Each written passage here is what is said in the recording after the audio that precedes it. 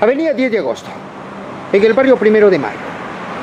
Algunos moradores seguramente que están totalmente de acuerdo que los juegos mecánicos que se instalan para la fiesta de Guaquilla por este sector les beneficia.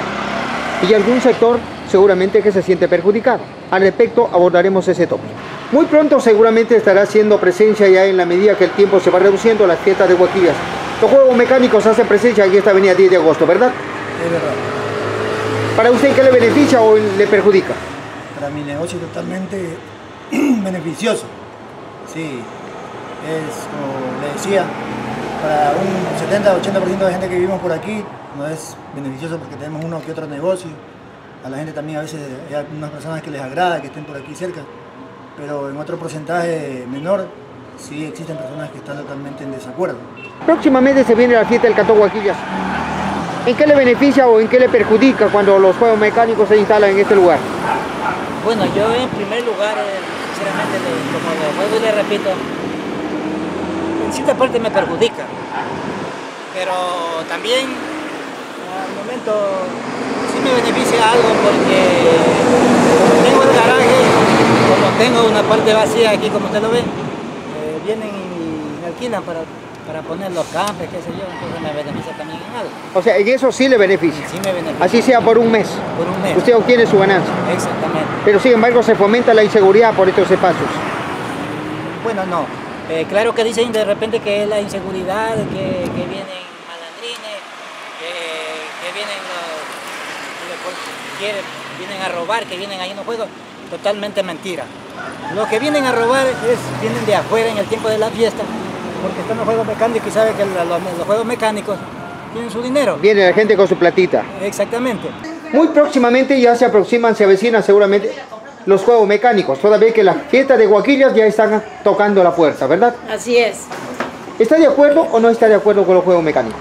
Por nuestro lado, yo soy de acuerdo que vengan porque se ve bonita nuestra calle, hay, este, le dan más vida a nuestra ciudadela. Por Ah. mi lado no nos afecta nada a nosotros. ¿Tienen ustedes alguna actividad comercial? Por aquí mis hijas tienen su negocito, hacen comidita, hacen tortas, Aprovecha la coyuntura para vender. claro. Es la vocación, ¿verdad? Así es, Ese es el beneficio. así es. En materia de seguridad, ¿ustedes no se ponen al peligro? No, ninguna, ninguna cosa ha pasado. Mientras han venido los juegos mecánicos no ha pasado nada por nuestro lado. Se aproxima la fiesta de Guaquillas. ¿Están ustedes de acuerdo o no están de acuerdo con los juegos mecánicos en la 10 de agosto? Claro, mi amigo, yo pienso que esto ya debería cambiar. Esto es año por año que en realidad esto obstaculiza a lo que tiene que ver eh, cuestión eh, de taxis, mototaxis.